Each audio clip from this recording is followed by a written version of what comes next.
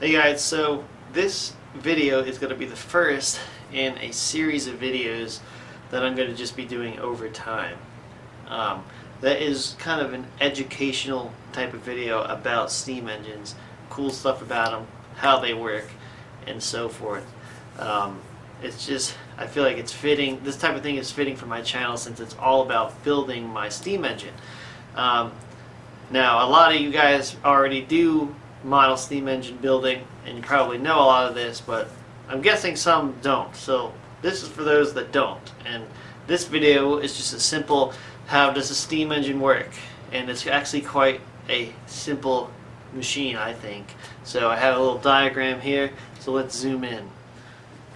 So what we're looking at here is, um, this is a cross section of just a, a cylinder, just an engine cylinder.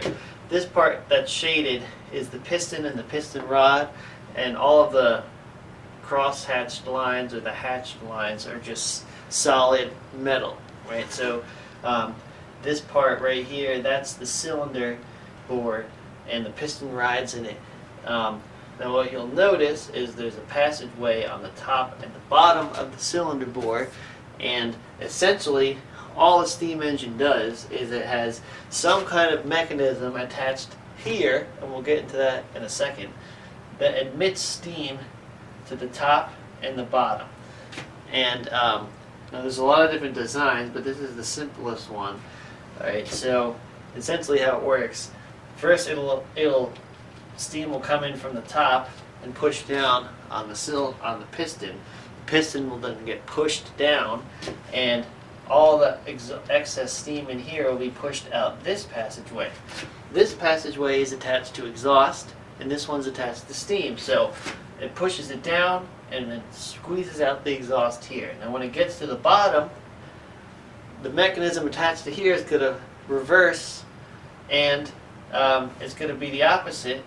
Now the top will be attached to exhaust, and the bottom will be attached to steam steam will then push the bottom of the piston upwards and all the exhaust steam on the top of the piston will then get squeezed out the top hole and it kind of just goes back and forth and that's that's kind of how it works right? So the heart of the, of the steam engine is in this piece on the side the piece that actually controls the steam flow.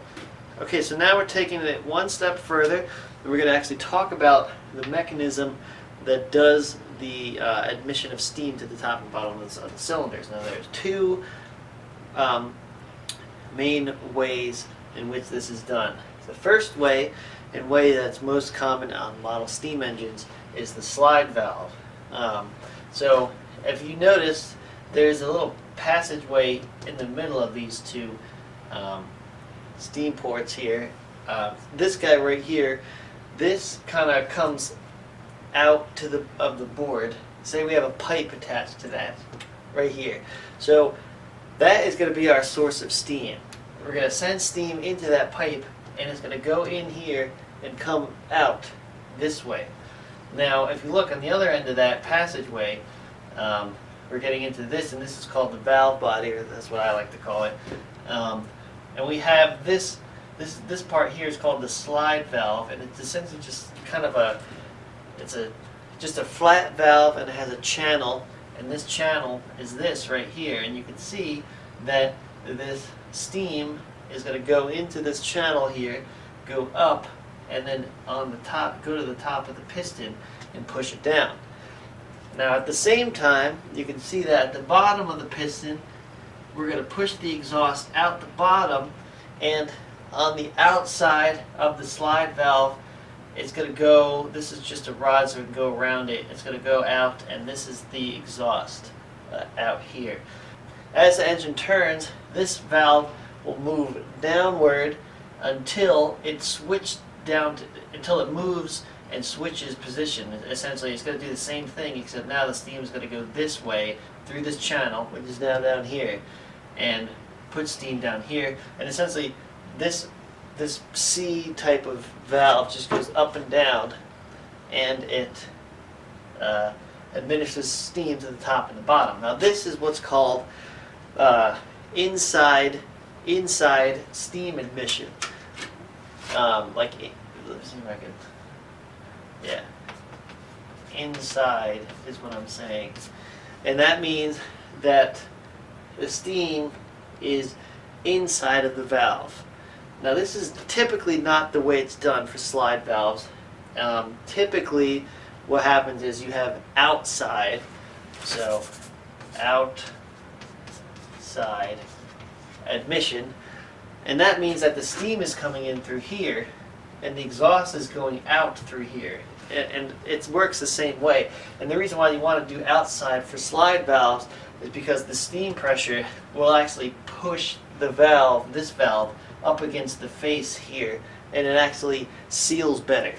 Um, they always say slide valves wear in, meaning they, they seal as they wear because the steam pressure is always pushing the valve against the face of the cylinder. So it's sealing it. Um, so that's kind of, that's the slide valve and you, the, both inside and outside admission. So just to explain this a little bit more thoroughly, I drew a couple quick sketches down here. Um, this C thing is the slide valve. Um, and in this first position here, let me zoom in a little bit.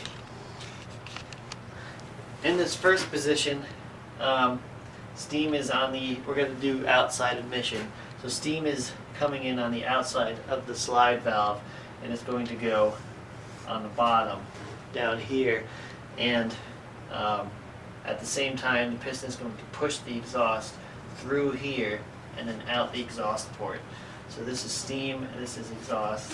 And then as the engine moves, this C is going to move downward until it gets to here, and now it's going to switch. The steam is just going to go into this top one. It's going to, the piston is going to push the exhaust out the bottom, and then it's going to go out the exhaust, exhaust steam. So you can see that it just moves up and down and it just switches top and bottom where it goes. So the slide valve here is typically used in a steam engine that uses what's known as wet steam or steam that is still in a mixture state, meaning uh, it's there's water vapor in it. It's not hot enough to make it a pure gas. When you use wet steam, the temperatures and pressures are much less, and um, the slide valve was kind of made for that. As soon as they started using what's called superheated steam, and I'll have a, another video about the differences between the two types of steam, um, uh, then this slide valve doesn't really work very well. Superheated steam is essentially you heat the water up so much that there is 0% liquid in it. There's, there's an, it's, it's purely gas. And when, when that happens, what the temperatures and pressures relationship that's, that's in the uh, mixture state changes. And you can get extremely high pressures and extremely high temperatures. Now, two, both of those things cause the slide valve to fail. But the big thing is, uh, at these extremely high pressures, this slide valve is pushing very, very hard against this face. And um, that causes a big problem because um, you, one, you can't get oil in there very well, right? It's pushing so hard on it, you just can't get it in very well. And because of that, because of the lack of oil and the, the force in which it's pushing on the wall, it actually starts to just dig as it's moving and will, and will just wear it away and wear away that face. Um, so there's a point where there's it's too much pressure, too much heat, too much pressure. This will not work for a um, superheated steam engine. What will work is the next thing we're going to talk about, which is the piston valve. So this is the piston valve setup, and nothing is really drawn to scale. This is kind of humongous compared to this, but forget about that. Um, basically, um, you can you can see that it looks pretty familiar. There's this same sort of uh, U-shaped passageway here, and you can see that if we have inside steam admission, it's going to go through this passageway, and it's going to go to the top, and then the piston is going to push exhaust at the bottom. It's going to go out this passageway here. Um, and it works the same way. And then as it moves down, it's going to flip. The steam's going to go the other way, and then the exhaust is going to go out this exhaust passageway here, and um, it's the it's pretty much the same operating principle. principle. Um, the reason why this is better for superheated steam is because, um, and usually actually, usually with piston valves it's the opposite. You use inside admission, and the reason for that is when you have inside admission, this right this valve here is just kind of a spool valve, right? So when the steam comes in, it can sort of swirl around this valve and you know, it can it's free to move anywhere between these two top parts because this is kind of sealed away um, in the cylinder. So because of that, um, the, the, the, the steam pressure is going to exert a force on downward on the valve over this cross-sectional area and it will also exert the same force on upward on the valve over this cross-sectional area because the force of pressure um, F is equal to pressure times area and um, get rid of that because we're on the inside now. So it's the same area on the top and bottom. It's just the forces cancel each other out. So there's no sort of it doesn't have this issue of having uh, steam pressure forcing it onto something. Uh, it kind of equalizes, and uh, you'll have some pressure loss here, and it'll it's not exactly equal, but it's it's at least not smashing up against the um, the port face, and any unequal pressures are, are going to be up and down, not side to side against any sort of wear material. So this is what you typically use with superheated steam for that reason, and um, it typically uses inside admission. Um, and uh, that's, again, the operating principle is exactly the same. If you just look at this part here, this C channel, um, it's the same sort of thing, except now it's just between this, it's just between these two uh, top parts of the valve, but it moves up and down and redirects steam in the exact same way. So we're going to do a really quick, crappy drawing of showing the uh, principles. And this left one, we're going to have steam coming here. It's going to go through here onto the top. And again, it can also go around and out the top because um, this is kind of a spool. And uh, the piston is going to push out the bottom, push the steam out this way, and there'll be an exhaust port. There's an exhaust port here. Um, and then as it moves down, now, okay, well as it moves down, it's going to switch. The steam will go here. Uh, so this is steam, this is exhaust. And then the piston is going to push the exhaust out this way and it'll go out the exhaust port. Exhaust, steam.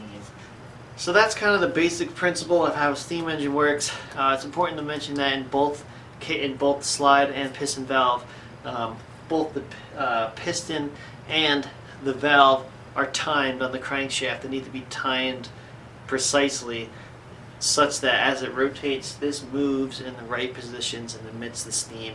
Um, and that's what one thing that's nice about this is if everything's timed correctly you just spin you just spin the engine over a little bit and it just takes off it just goes by itself um, so that's kind of how the, this whole thing works um, this is again this is kind of my first video into the educational type of thing for steam engines uh, let me know how you liked it what you would like to know about in steam engines or anything like that. Um, I'm hoping this goes over well. This was kind of fun. So we'll talk about, there's a whole bunch of other things I have in mind to talk about. Um, so that's going to be it for this video. Thanks for watching guys. I'll see you next time.